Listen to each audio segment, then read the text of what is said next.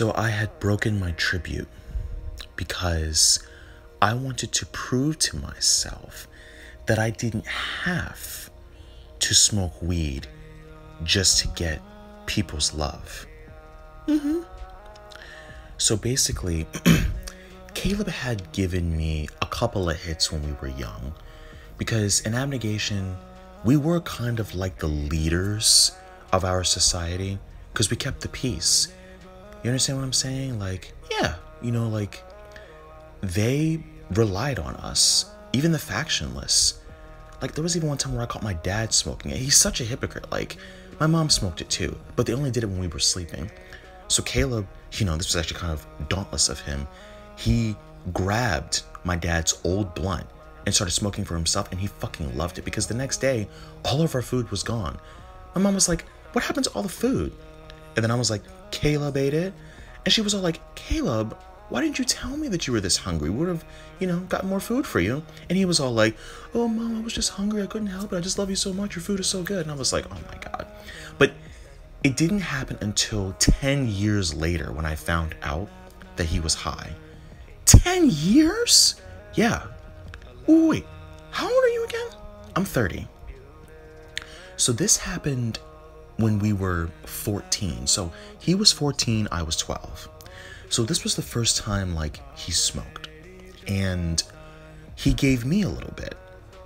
And he said, "If you promise to not tell dad, I will take you to Erudite for their theater shows when it comes to smart people." Theater shows?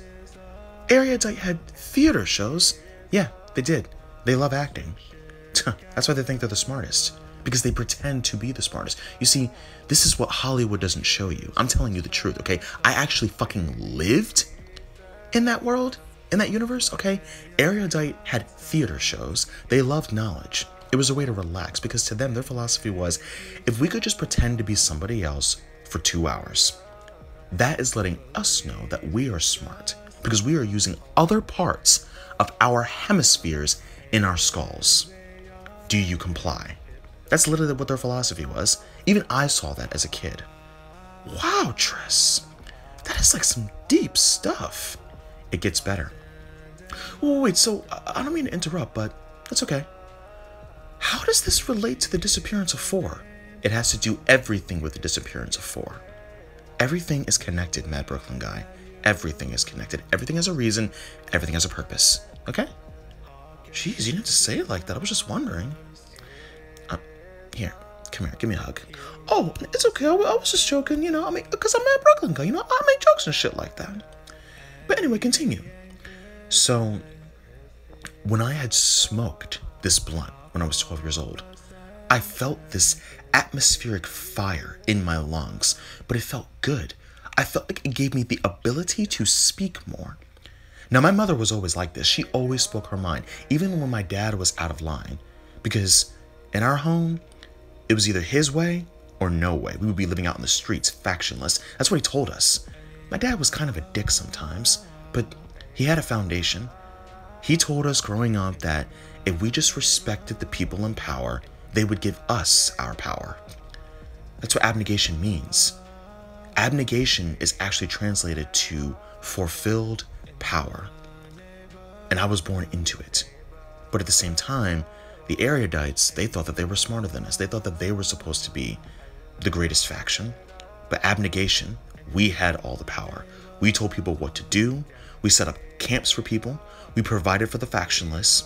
And now that I know that fulfillment means power, in my mind, it is because my dad got that foundation from smoking weed. So, what does that tell you about weed? What does that tell you about my father? What does that tell you about me?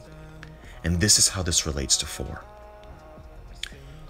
The night that Christina and Peter had invited me out to the balcony to smoke with them, I felt that feeling again.